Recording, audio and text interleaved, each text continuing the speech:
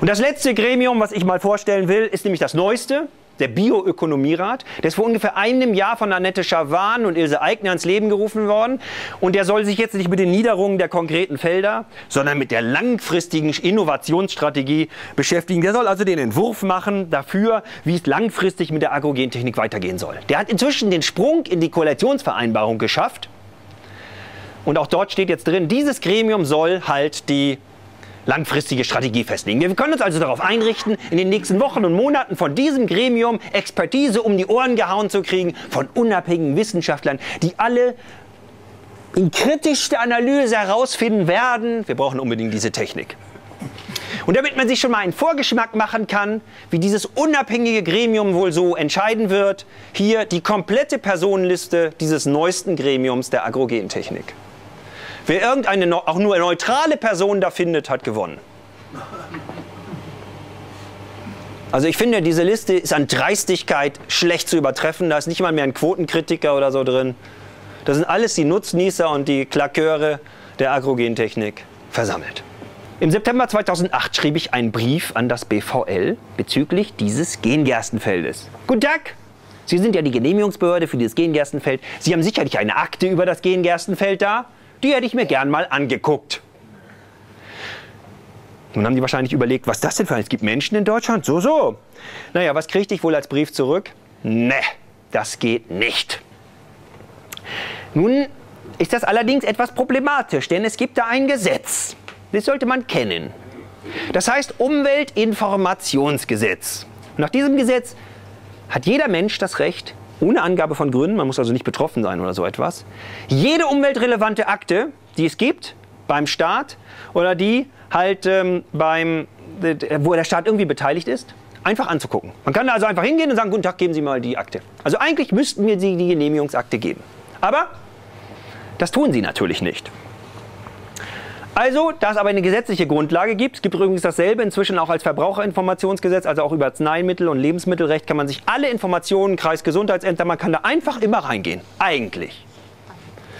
Nun lehnten die das ab und ich zog vor das Verwaltungsgericht Braunschweig und ähm, klagte gegen die Bundesrepublik Deutschland. Ich hätte gern die Akte von diesem Gengerstefeld. Nun guckten sich wahrscheinlich erstmals dieses Gesetz an. Oh, hoppla, gibt es ja wirklich Umweltinformationsgesetz. Was machen wir denn jetzt? Und fanden da einen Paragraphen, darauf bezogen sich dann tatsächlich später, fanden einen Paragraphen, dass man in absoluten Ausnahmefällen doch mal, vielleicht wenn die Hütte abbrennt oder so, doch mal die Akteneinsicht verweigern kann. Und schrieben dann an dieses Verwaltungsgericht, dass sie tatsächlich der Meinung sind, sie wollen grundsätzlich und immer diese ähm, Akteneinsicht verweigern und dafür hätten sie auch gute Gründe. Und die kann man sich jetzt hier angucken. Das ist jetzt der Brief des BVL an das Verwaltungsgericht. Der erste Grund, warum sie finden, dass ausgerechnet Sie, das Bundesamt für Verbraucherschutz, sich an Verbraucherrechte nicht halten muss, war, dass sie total überlastet seien. Sie würden ständig Anrufe kriegen, könnten das leider gar nicht alles bearbeiten. Ständig klingelt das Telefon, nämlich 24 äh, Mal im Jahr 2008. Das ist natürlich ganz schön krass hochgerechnet auf alle Mitarbeiterinnen und Mitarbeiter. Ein Anruf alle zehn Jahre, also das ist ja kaum zu bewältigen. Und als zweites fanden sie dann noch die Variante, dass äh, ihr großes Haus leider zu klein ist. Es gäbe da keine Möglichkeit für mich, einen Stuhl und eine Tischecke zu benutzen, um einen Aktenordner dort aufschlagen zu können. Also diesen Unsinn erzählten sie dem Verwaltungsgericht und wollten damit durchsetzen, dass sie mit Verbraucherschutzrechten nichts zu tun hatten. Nun sind äh, Verwaltungsgerichte äh, häufig geneigt, den Behörden Recht zu geben, fanden dann aber wohl, das geht so nicht gut, spätestens auf EU-Ebene, schrieben dem BVL einen Brief mit einer lustigen Formulierung, sie empfehlen, die Rechtsposition zu überarbeiten. also wenn man schon äh, Verbraucher ab, dann wenigstens mit ein bisschen Intelligenz. Ne? Ich hatte erzählt von dem Auskreuzungsverhalten von solchen Pflanzen. Der Reis, die Leinsaat, die es weltweit überall hingeschafft hat. Das wissen die auch. Kann es sein, dass die Felder anlegen, damit es sich auskreuzt?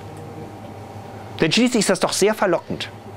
Bei der Atomkraft, das ist ja einer der Unterschiede, es gibt auch andere Unterschiede, wirkt dann wie die Atomkraft schrecklicher. Ich will das nicht in Reihenfolge tun, das bringt ja auch nichts.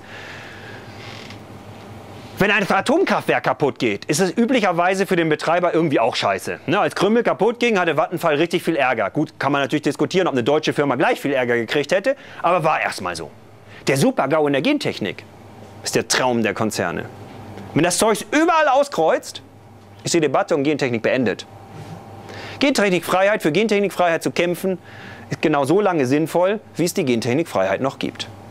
Und wenn ein solch kleines Feld reicht, um weltweit alles zu verseuchen, dann muss ich solche kleinen Felder anlegen. Möglichst viele kleine Felder mit unterschiedlichen Pflanzen, damit es schnell geht.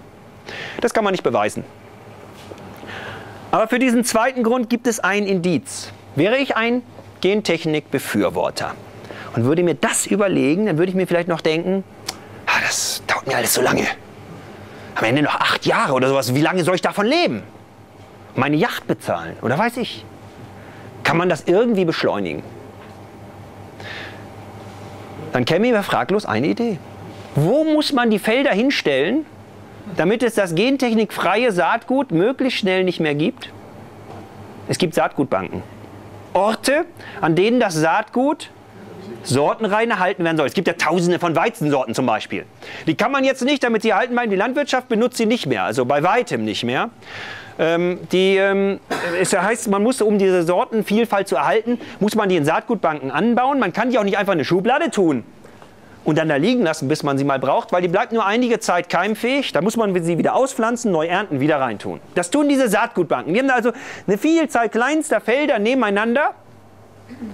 Und bleibe ich mal beim Weizen, wenn ich jetzt mir überlegen würde, ich will dieses Ganze, ich will möglichst schnell, dass aller Weizen gentechnisch verunreinigt ist, würde ich mir denken, Daneben mache ich mein Weizenfeld mit gentechnisch veränderten Weizen. Oder umgekehrt betrachtet, aus der Brille von Leuten, die Gentechnikfreiheit, die Wahlfreiheit weiter wollen, wäre es der Horror, wenn ausgerechnet neben den Saatgutbanken Genfelder angelegt werden und dann auch noch mit genau den passenden Arten. Jetzt schauen wir mal, was passiert ist. Es gibt fünf solcher Saatgutbanken in Deutschland und bei vieren passierte das Gleiche. Die größte ist in Gartersleben, Saatgutbank für Getreide und Hülsenfrüchte. Und wo waren in den letzten Jahren die Felder mit gentechnisch veränderten Erbsen und mit gentechnisch veränderten Weizen? Auf dem gleichen Grundstück in Gartersleben. Wir haben eine Saatgutbank für Ölpflanzen in Malchow, das in Mecklenburg-Vorpommern, und daneben Felder mit gentechnisch verändertem Raps. Wir haben eine Saatgutbank für Obstbäume in Dresden-Pillnitz. Und wo standen die gentechnisch veränderten Apfelbäume? Auf dem gleichen Grundstück in Dresden-Pillnitz standen, muss man sagen, weil sie sind im letzten Frühjahr von unbekannten Leuten komplett alle abgesägt worden. Ilse Aigner hat im Fernsehen gesagt, sie hätte geheult, als sie das gesehen hat. Soweit also, was sie wichtig findet im Leben. Und es gibt eine Saatgutbank für Kartoffelsorten in Großlüsewitz. Und Großlüsewitz ist da, wo das Agrobiotechnikum steht. Und wer sich noch erinnern kann, welches war die häufigste gentechnisch veränderte Pflanze, die da angebaut wird? Die Kartoffel. Neben allen Saatgutbanken, also genau die dazu passend gentechnisch veränderte Pflanze. Gibt es hier irgendjemand, der die für so doof erklären will, dass die das aus Versehen gemacht haben? Ich fürchte, es bleibt kein anderes Erklärungsmodell übrig, als dass sie es ganz, ganz absichtlich machen.